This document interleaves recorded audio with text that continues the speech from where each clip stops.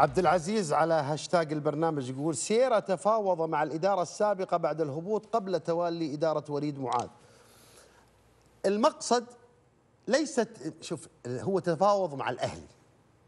تقول لي لا الأهلي مع نفيعي غير الأهلي حق وليد معاذ. هو كله أهلي. الخطأ إذا حدث حدث داخل النادي ومن الأجهزة الإدارية إذا كان سيرة كلامه صحيح.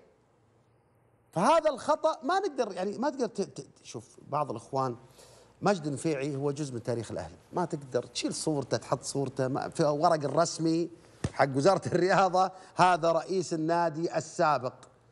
في الورق الرسمي الأهلي هبط إلى دوري الدرجة الأولى. في الورق الرسمي الأهلي يعاني من قلة مواهبة.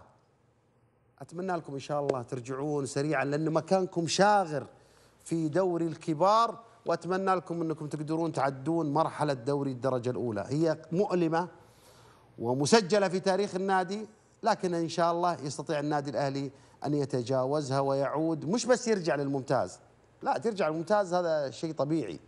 أن يعود منافسا. تقدر تنافس قصة يبغى لها استثمار. ما هو سهل يبغى لها تكاتف وتصفون القلوب وتحبون بعض. وتتركون المرحلة الماضية وتصفية حساباتها. مش مهم لماذا هبط كيف يعود هو السؤال.